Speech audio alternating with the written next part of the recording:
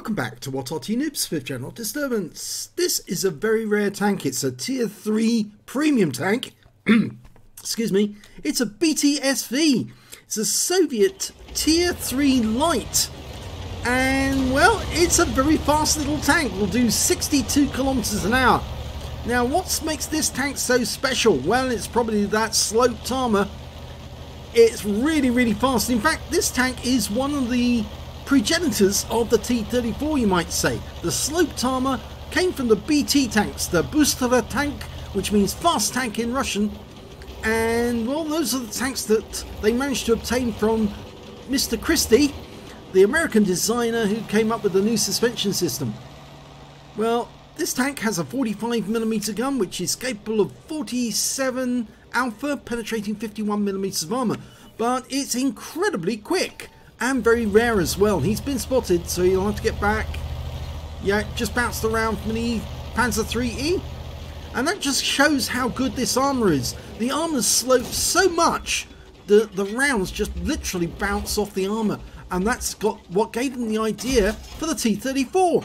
They sloped the armour on the T-34 and watched the rounds just ricochet off them. Yeah, he's getting rounds into those tanks. Nicely done. Yep, Panzer 1C is not going to survive much longer, and he's gone. Okay, we've got that Panzer 3. That's the one that fired on us. And he's taking damage. Panzer 3E there as well.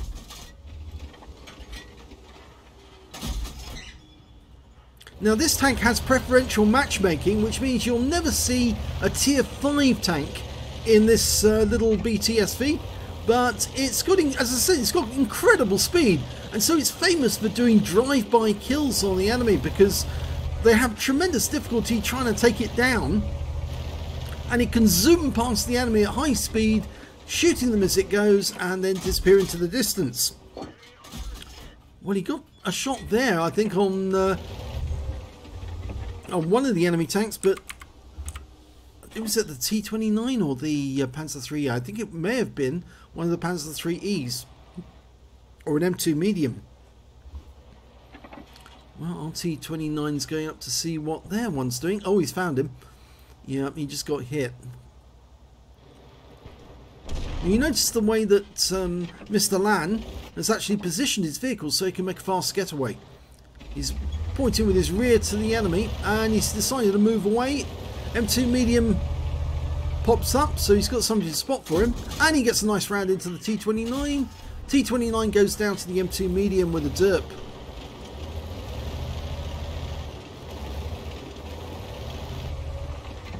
Again, showing his rear so he can quickly run away if he needs to. Fires one into the M2 medium, but our M2 medium finishes him off, which is good. So there's still those two Panzer 3Es somewhere in the distance.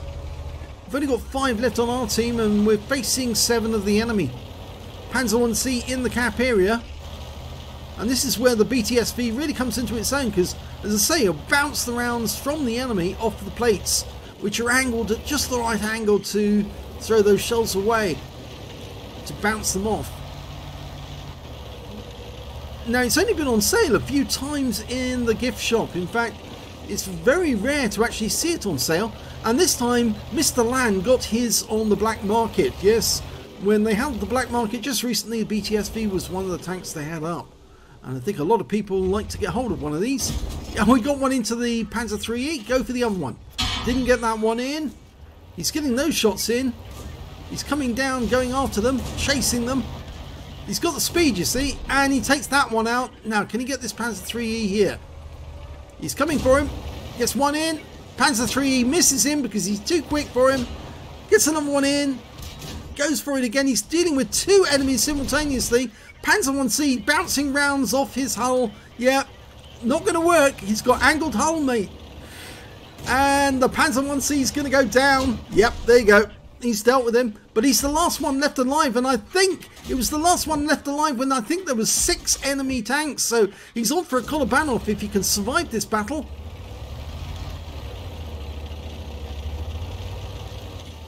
Oh, was spotted again. Don't know who he was spotted by there. It's T-70 coming up from the south. There he is. He's coming up by the middle. There's also an M15/42 there. He's using the APCR now to make sure his shots count. He needs to make sure he wins this one. Gets those in. Oh, gun depression is a bit of a problem, but he takes out the M15. Now he's dealing with the T-17. Two in. Gets the kill. That means there's only two enemies left. Standing between him and Kolobanov. He's got his top gun. He can't get a Radley's, unfortunately, because this is tier 3. In fact, it's a tier... Yes, it is tier 3 battle. So he can only see tier 4. He can't see tier 5. He's actually low on hit points now because there's some of them guys did get shots into him. The T-70 did and the medium 3 did. Okay, he's staying, taking up a defensive position. He's only facing the medium 3 and the AMX-38. Now, the AMX-38 is going to be the big problem because, of course, he's the French tank with lots of armour. Medium 3 is fairly porous. It's um, got weak armour but he's only got five rounds of APCR left. And he doesn't know which direction they're going to come from.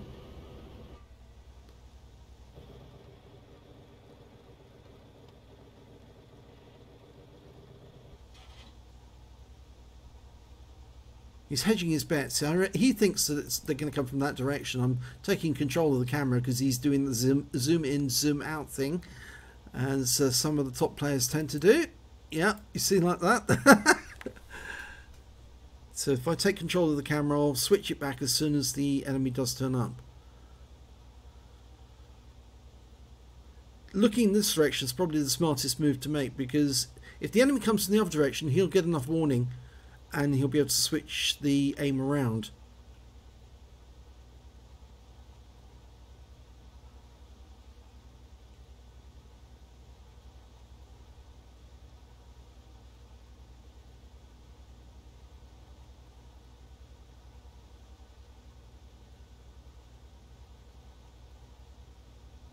Ah, the medium's been spotted. There he is.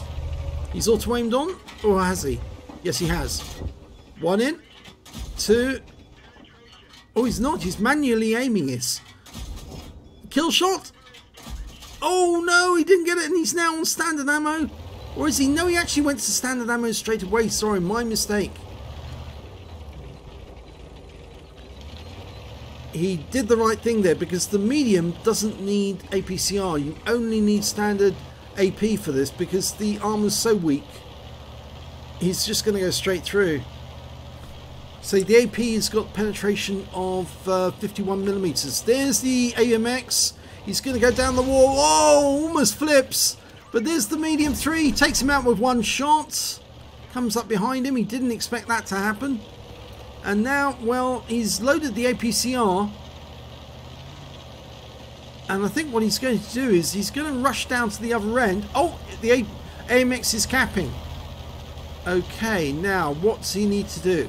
He could go to the middle and switch over to the middle of the map and then shoot at the AMX from the Abbey.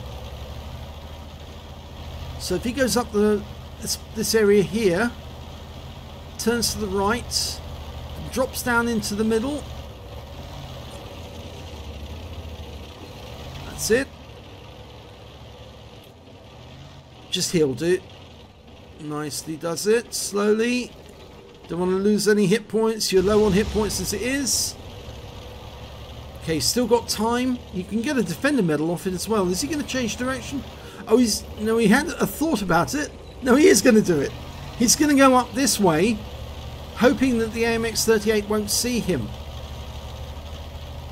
I think he also might have been concerned that he didn't have enough time left, so the AMX is going to be looking towards the east, to the river, and of course um, he's going to approach it from a different angle. Oh, now did the AMX see him? Yes, I think he did. He's hiding behind the wreck. That one didn't go through. Ricochet yeah, he's having difficulty with those shots. He's used up two of his APCR rounds.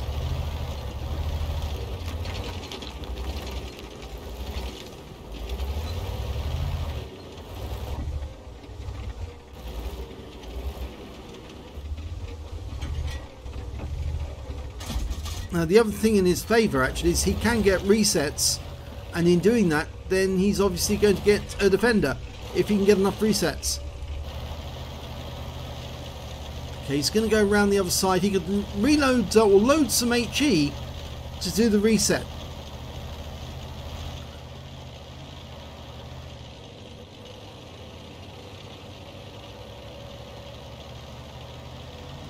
Okay, now the AMX thinks he's going to come up via the, the east, the west side this time, but he's actually coming up from the centre again. He's staying with the APCR. Oh, he's going to be sneaky. He's going to come in from the riverside.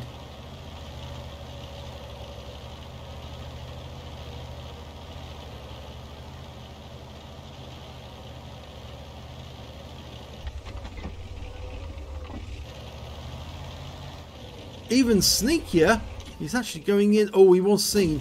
But he gets the reset. So he's guaranteed a defender. Oh, but he almost flipped it there. In fact, I think he's stuck for a second.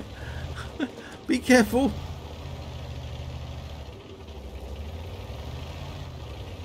Well, he's got the, the cover of the trees now, so the AMX can't see him, but he will see the AMX.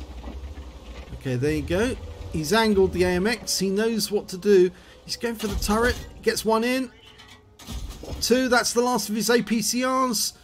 Now, can he get the penetrations with the standard AP? I don't think so.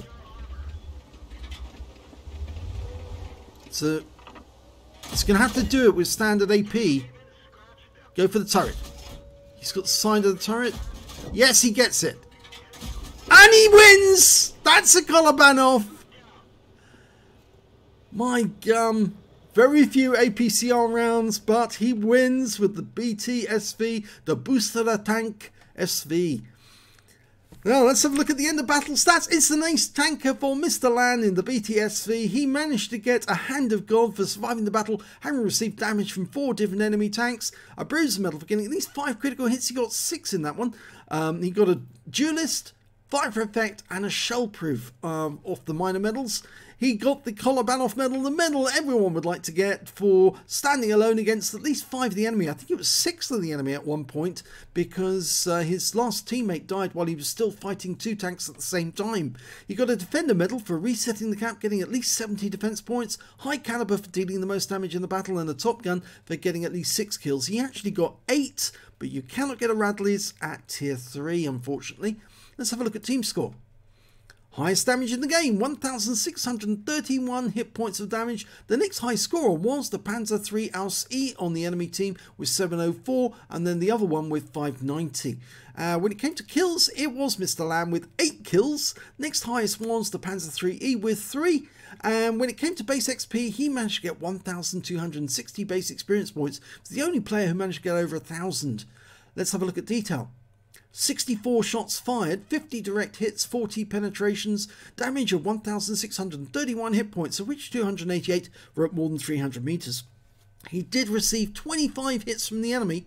Only 9 of them were penetrations due to that sloped armor, 16 non penetrations, 283 hit points of damage blocked by armor, 1 enemy vehicle spotted, 11 enemy vehicles damaged, 8 killed, and 100 defense points. Yes, he reset the cap enough times to get the full 100. On a free-to-play account, he earned 25,465 credits, got 12,733 from personal reserves, so his total 38,198. But he did fire a fair amount of APCR during that game, and he used up consumables as well. So he actually made a small loss for the game of 18,651 credits, but I don't think he'll worry about that because he did win the game and get a Kolobanov. 1,260 XP, times 2 for the first victory, 630 from personal reserves, 756 from this being a premium vehicle, took away 3,906 experience points altogether. So the BTSV, very rare tank, you won't see it all that often, and it's actually quite an interesting tank because it was the way they angled the armor on this tank led to the angling on the T34. In fact, actually, the angling on this version then led to the A20, which is why there's some similarities between this tank and that uh, tank. And uh, yes, then it led to the T-34 and then all the other Russian tanks which have highly sloped armor afterwards. They all come basically from the BT SV. So, uh, yes, this is the genesis, you might say, of all the Russian sloped armour, and it worked very efficiently as you saw in that battle. If you really enjoyed this replay, please give this video a like, and if you did, um, please subscribe to our channel, and um, thanks for watching.